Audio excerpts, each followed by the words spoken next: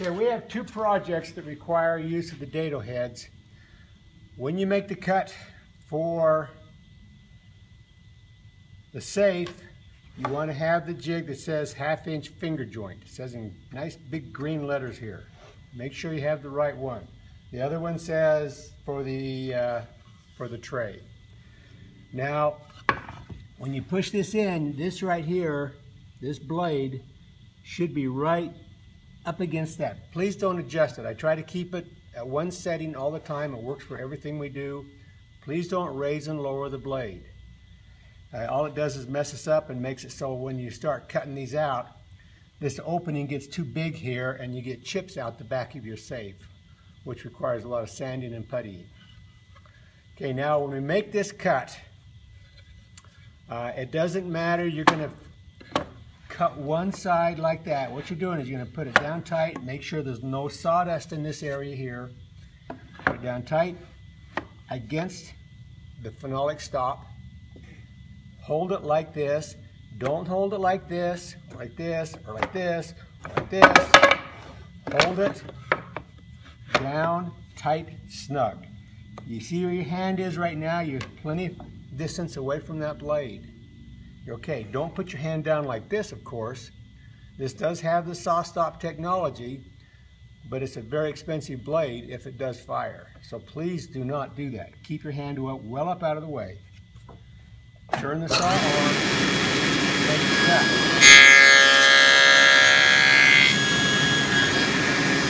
Bring it off. The back side is clean.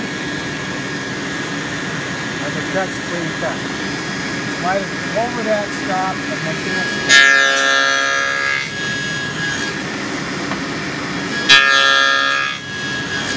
Please make sure that it is down. We don't want sawdust that's going to hold us up. These cuts should be in a perfectly straight line all the way across that. You get a scrap of sawdust, that's going to mess that up. Make sure it's down all the way.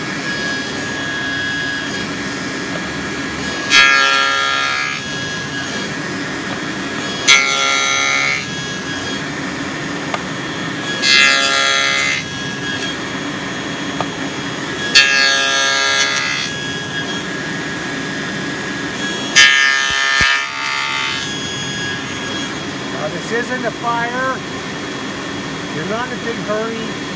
Don't shove it real fast. Just take it nice and easy. That way you'll have clean cuts of off off the back here and it'll be a lot nicer. Okay, now after I've done one side, I take it and I flip it like this. Do not flip it like this.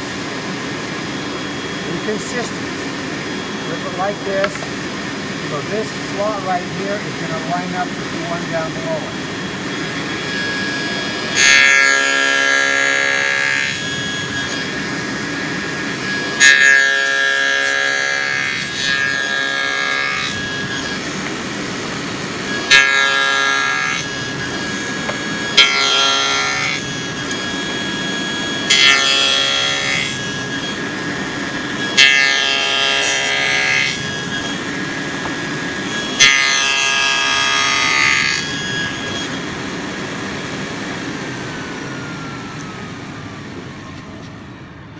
Now you see on this right here, this groove lines up with that groove. Does that all the way across. You want to re repeat that procedure for all four sides. Okay, after you've got them all uh, finger joints cut, just put it together and see if it works. If you've done it right, you're not going to have uh, a lot of sticky outies on it. I don't know how to describe that. Um, the joint should be pretty, pretty, pretty tight. Enough room in there for some glue. You don't have to pound it together. But these points right here, uh,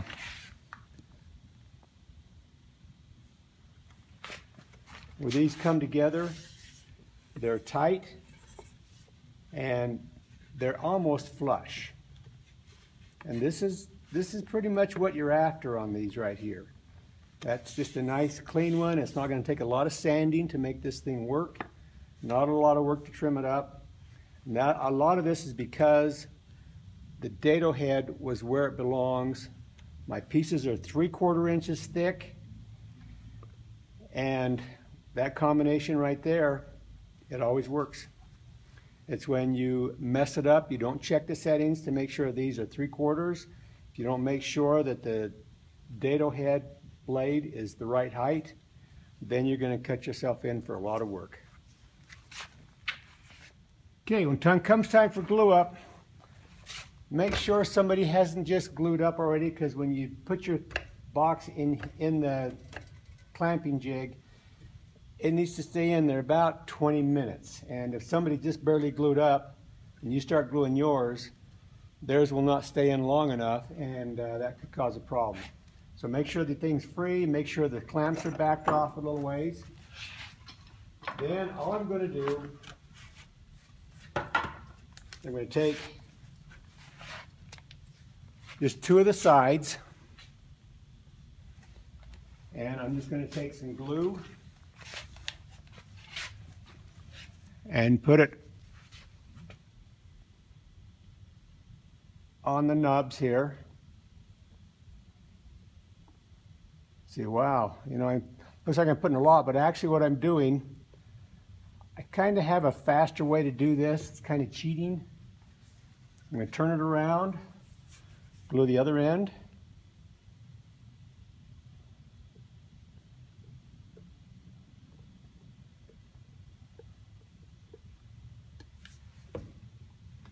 This side here, I'm going to smear, smear, and then I'm going to flip the whole thing straight over and just watch the drips fall down on the other side. Then I'm going to take my finger and smear them around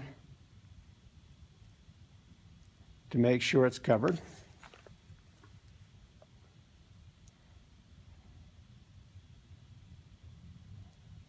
And if you get a little bit of drippage, that's life.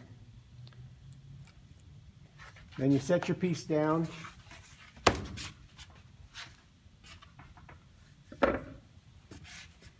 Get the finger off, get the glue off your fingers, that way you're not going to get it all over your project. Then I'm just going to slip it, set that end on there.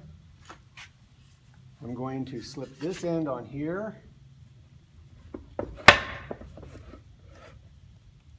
Put the top on.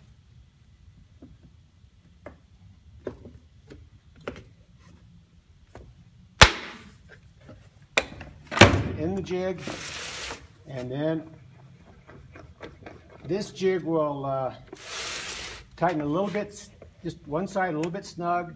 Then you can bring the other side up, tighten it up snug, work your way back and forth.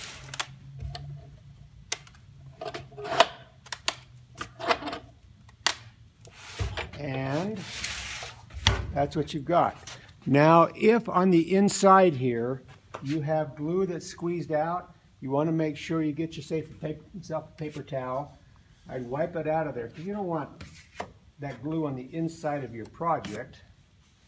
And that's why we finished the inside, just in case uh, you did get glue in there because it's really difficult to sand out. No, it's a little different. Uh, I'm going to actually make a video on that, but it's it's all we do is once when I've got it figured out, it's a piece of cake. I wish I didn't have to graduate this year. And I also wish I